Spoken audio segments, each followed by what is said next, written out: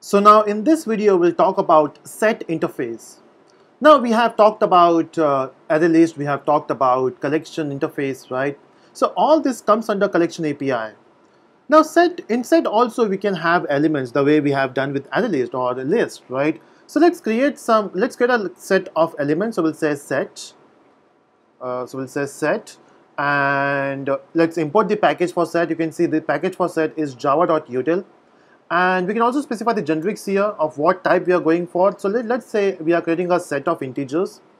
And we'll say uh, values equal to now the problem is set itself is an interface. So if I click on set set is an interface. So of course and set uh, set extends collection. That means it's a part of collection so if I create object of set we cannot do that with the with the help of set interface right? So we have to say we have to search for a class which implements set. And that class is hash set. So let's mention that here. And we need to import the package for that as well. And that and that class even belongs to java.util and if I go to hash set it's a class where's that? Uh, it's a class which implements set okay so that means we can create the object of set in this way.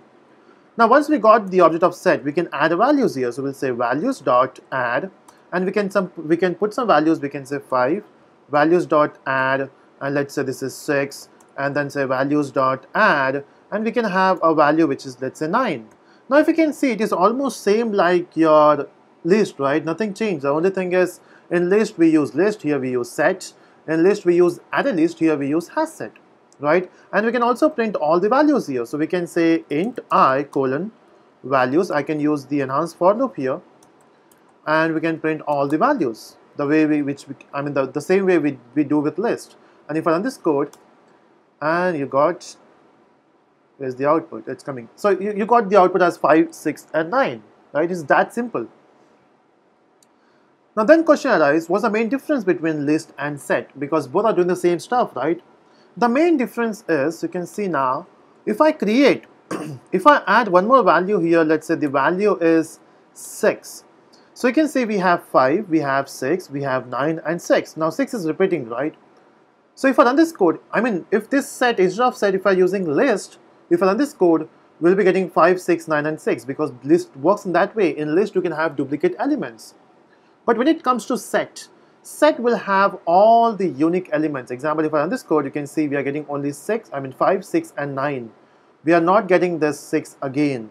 that is something you have to remember in set it supports only unique elements so you cannot you cannot duplicate elements here and if I okay if I click on this add method you can see add method here returns a boolean value now we can use that boolean value let's say let me put all these values inside a system.out.println just to see if those values are getting added or not let me do it for, for four times with different values of course and we'll say this is 6 and this is 9 and this is again 6 as we have done last time. And if I run this code now you can see it says true, true, true and when you're adding this 6 here it says false. That means you cannot add the duplicate elements. So as soon as you try to add a duplicate element it will say false. So 6 is not getting added. And this feature you can only, only achieve with the concept of set. Okay. So that's how your set works. So in set it doesn't support duplicate elements. Now what I will do here is I will simply put some more values. Let's say I'm putting 87 and uh, let's say 97, let's say 34 and let's say 92. Right, so I'm putting all these values. So if I run this code now, it should, it, it should give you all the values and you got all the values, nothing wrong with that. But can you see this sequence here? I mean, while you're entering the value, you're getting the same values, but while you're fetching the values, this, see the sequence, you're getting first 97, then 34, then 87, and then 92. So it is not following the sequence. Now why is the case? it should follow the sequence, right? The problem is, you are using a concept of hash set, which, which uses a concept of hashing concept. So what hashing does is, whenever you put these values inside your heap memory, it goes into certain locations and hashing will do the I mean it, it, it will use some algorithm using which the nearest value will come first. So maybe while saving the value you are saving 97 near to the I mean it, it's very near to fetch. So it is it is using some algorithm using which it is it is fetching the value. So sequence is not getting maintained. Okay.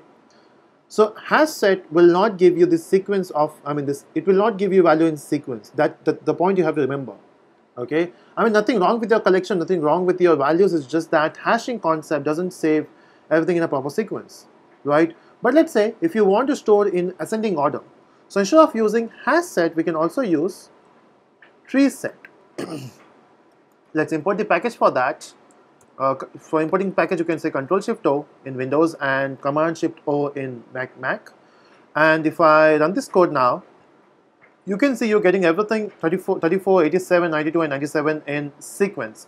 So tree set will give you data in a particular sequence and that is in ascending order. I mean you can also reverse it, you can do apply, you can reverse the values and all those stuff but that's how your set interface works.